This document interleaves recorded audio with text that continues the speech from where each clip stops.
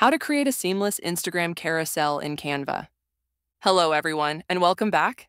In today's video, I'm going to walk you through, step by step, how you can design a beautiful, seamless Instagram carousel using Canva. Whether you're making something for your personal brand, your business, or just for fun, this method will help you create a professional-looking carousel in no time. So, let's jump right in. First, log into your Canva account. You don't need Canva Pro for this. The free version works perfectly fine for our purpose. Once you're in, click on the Create button in the top left corner of your dashboard. From here, type Instagram into the search bar. You'll notice Canva shows different Instagram formats, but for posts, the most common sizes are 1080 times 1350 pixels for portrait posts.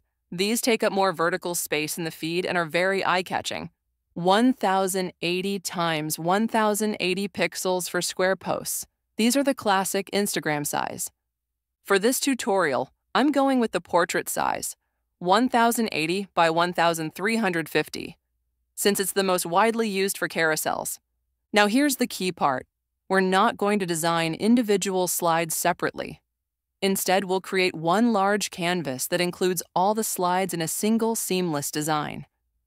This allows elements to flow naturally from one slide to the next when users swipe through your carousel. To figure out the width of this large canvas, take the width of one slide, 1080 pixels, and multiply it by the number of slides you want.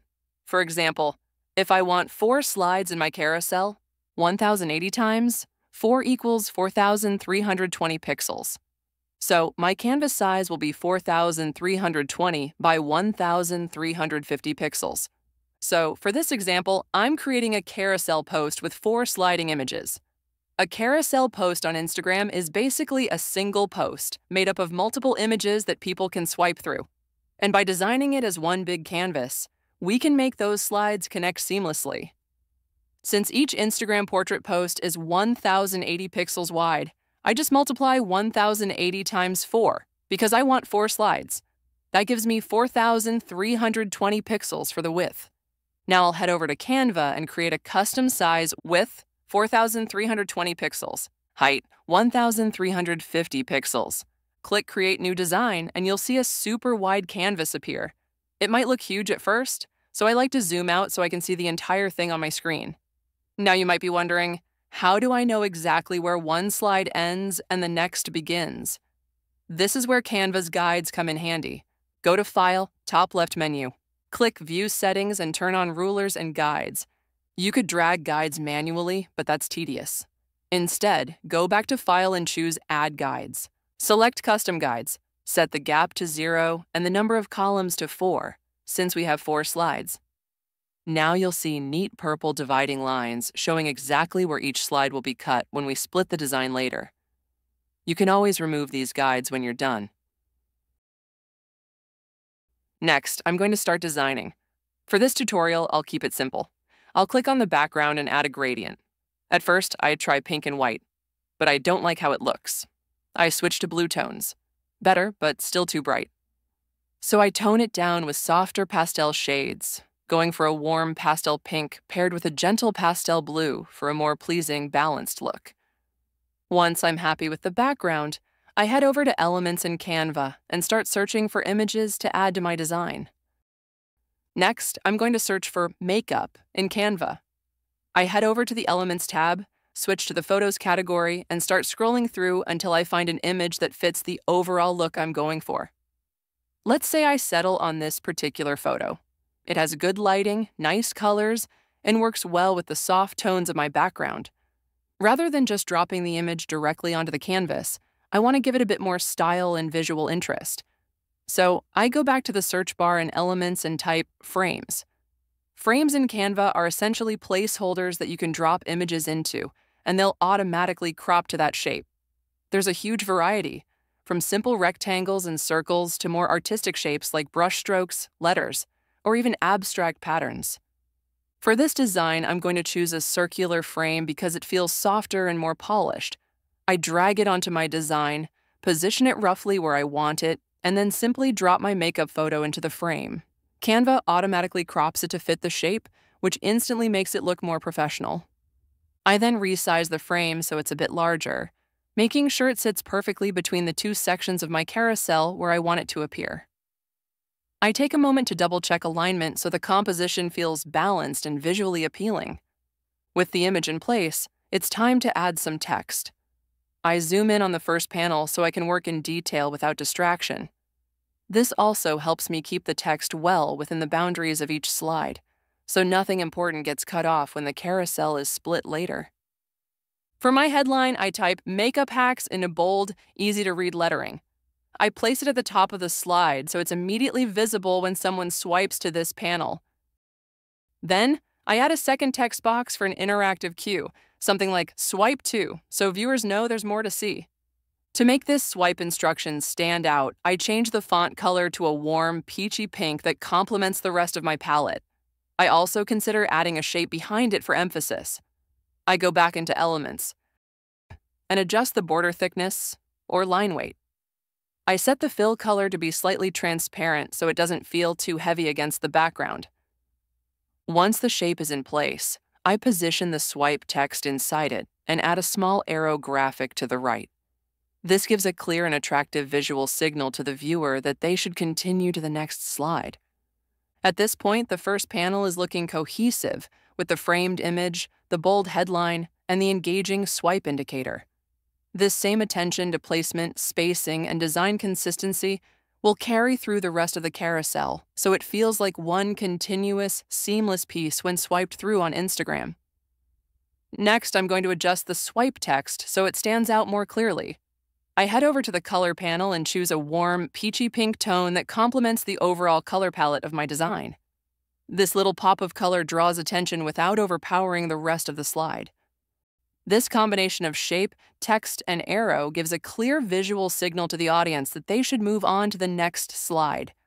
I also take a moment to make sure everything is perfectly aligned. A little alignment work now makes the final design feel polished later. Now that our first panel is complete, it's time to start building the second post in the carousel.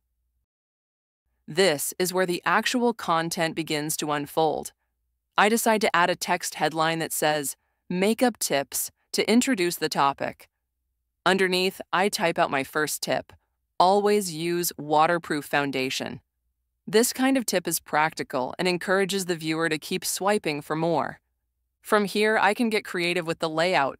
I might add supporting images, small icons, or decorative elements to enhance each tip. This is where Canva's Elements tab becomes my best friend. For continuity between slides, I search for decor and choose a few design accents, giving the illusion of a seamless flow when the carousel is swiped through. I continue building my slides one by one, alternating between text based tips and image heavy designs, making sure each one feels part of the same visual family. I also experiment with color variations, so each slide feels fresh while still matching the overall theme.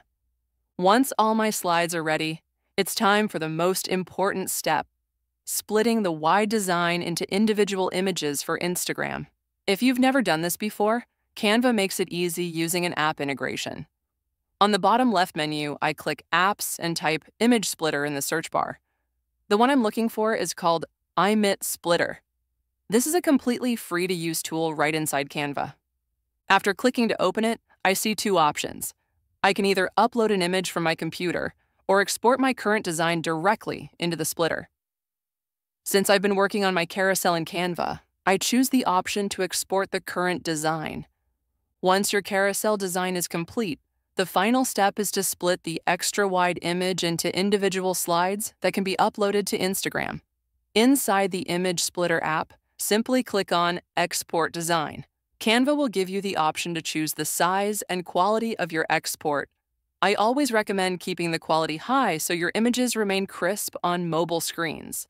After selecting your preferences, click Export. Next, you'll see the splitting options. Since we're creating four separate slides, we'll set the number of columns to four.